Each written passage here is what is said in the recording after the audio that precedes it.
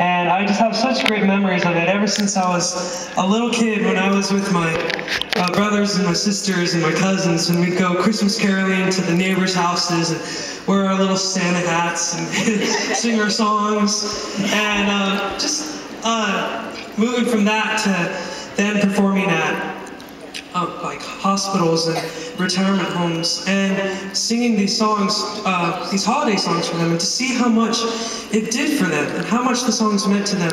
It really hit me, even at uh, that young of age. Uh, and it really taught me of how much a song could do for someone and how it could change someone. And it really, it was just some of those early memories have really influenced how I look at music today. And so it's just been such it's such a great opportunity, and I've loved being able to do this um, Christmas tour and Christmas album. And I just want to thank you guys again for coming and supporting me.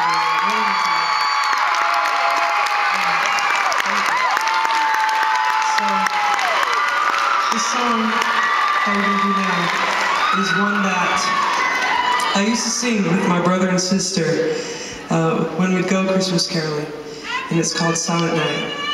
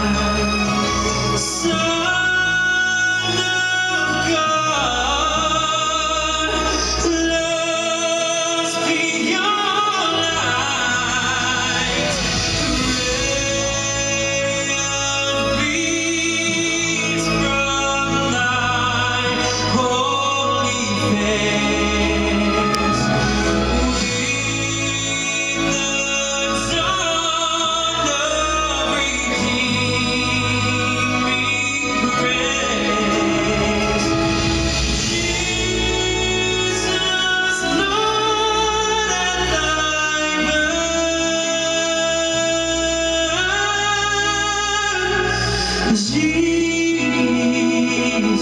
Lord.